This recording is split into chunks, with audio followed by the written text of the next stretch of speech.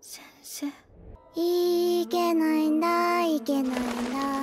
それ遺体から抜き取ったやつでしょ？いけないんだよ。だとしたら気持ちもわかるけど。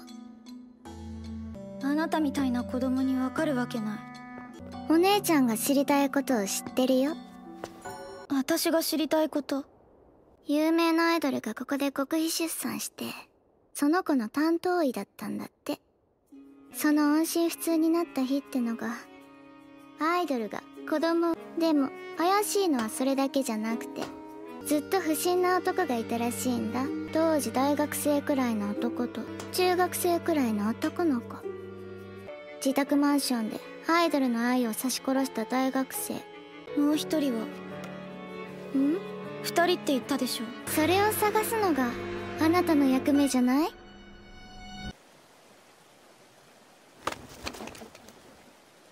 ルビーさんお願いします。はい。犯人は二人組。ママは二十歳っていう若さで未来を奪われて先生は殺されて私の大事な人を二人も奪って今でものうのうと生きて許せない。どんな手を使っても絶対に殺してやる。ねえあかねちゃん。おお兄ちゃんはどうして役者になったのかな？会いたい人が芸能界にいる。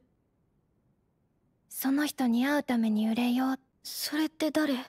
あんまりこの話ルビーちゃんにはしない方がいいだろう。ルビーちゃんに情報を渡すのはやぶへ多分好きな役者さんとかだよ。結構ミーハーなところあるから。そっか。もう遅いし。早くアクアがママと先生を殺したやつを。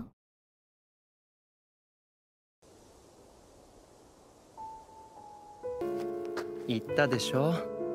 足元に気をつけてって。人殺し